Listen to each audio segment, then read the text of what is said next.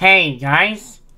So yesterday, after when my faulty Bop It Tetris wasn't working, I looked on eBay to see if there's any cheap Bop It Tetris deals. Just for a second one, obviously you want to get a used one. So I found e on eBay a Bop It bundle of two other games in there along with the Tetris. And today I'm going to show you what I'm going to be expecting through the post. So I found this. So here we have a collection of three handheld games. We have the Bop It Tetris, the Bop It Refresh, and the Bop It Beats. And they're in excellent condition. And um, I made the payment this morning because I was waiting for my YouTube revenue to come in from last month. And next month I get my big payout from the government. So, um, yeah, I get to spend that on, like, developers and musicians to help me with my YouTube channel. And speaking of musicians, I actually found a new musician who is going to help me improve my sound design for my second recreation of the 1980s Doctor Who theme. And there was a really good YouTuber in the name of Marine Dalek, who back in 2013 he did a really cool accurate recreation of it. And that's what I'm trying to achieve and I'm using the same synthesizers as him. I'm using the Memory Room ME80 which looks like this.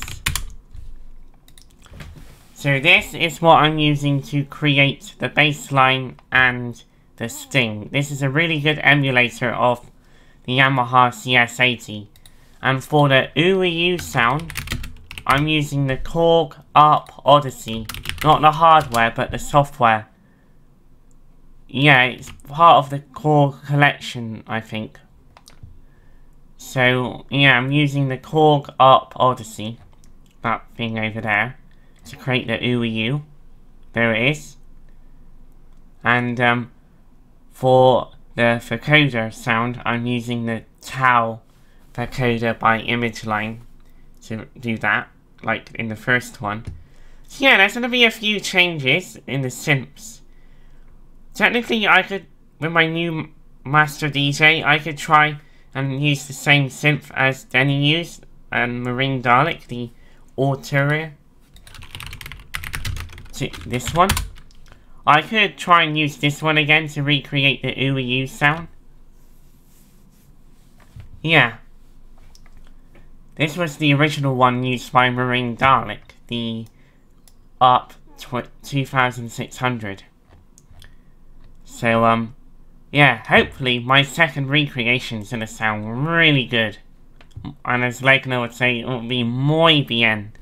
And it will be as closer to Peter Howell as I can possibly get. So, yeah, that was a, a, quick little update to say that I'll I have replaced my Bop It Tetris. And, um, yeah, and I'll have something to look forward to through the mail next week.